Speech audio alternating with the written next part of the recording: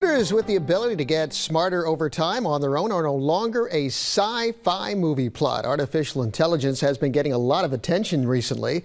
Chris Stewart found how AI could be having an impact in a way that could help millions of Americans with everyday tasks.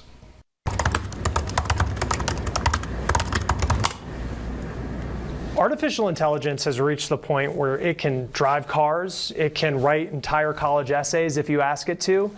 But we want to show you what researchers here in Colorado are using it for to develop a tool to help people who are visually impaired with challenges that we may not realize they deal with every day.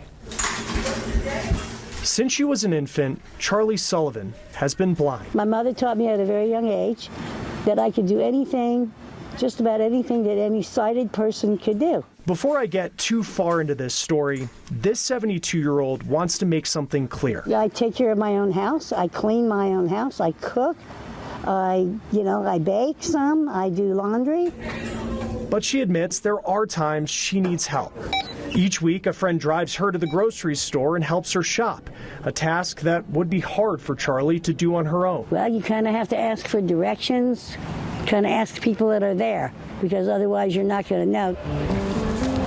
It's people like Charlie. So in this case, we are going for Kashi GO. Who researchers at the University of Colorado Boulder believe could be helped with the smart walking stick they're developing.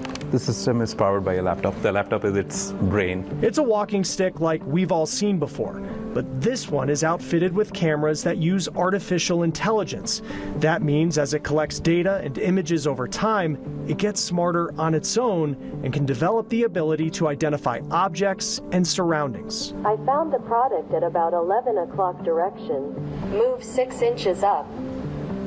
Go ahead and grab the item. In the case of the demo they did for us, images of cereal boxes were loaded into a database, and the walking stick told the person holding it where to go. Imagine yourself in a cafe. You, you just don't go enter a cafe and just take the first seat. You sit, seat yourself in a comfortable place. The researchers hope the technology could one day identify nutrition labels on boxes and be a financially fair option to those who need help. The cost to train a guide dog can be as much as $30,000, according to Guide Dogs for America. Guide dogs can be extremely expensive to train, and then the uh, annual upkeep on, the on that companion is somewhat limiting. This is not a replacement, but this is something that we hope can fill some of the gaps uh, and also contribute to more independence. Researchers also believe this technology can keep people safe. The CDC says impaired vision doubles a person over 65's risk of falling. We spoke with Charlie as she's recovering from a broken hip, multiple surgeries, and an infection all related to a fall last year. When we told her about the smart walking stick, she said it's the kind of help that's needed. I think that would be tremendously helpful. Researchers say the smart walking stick is still years away from being available to the public.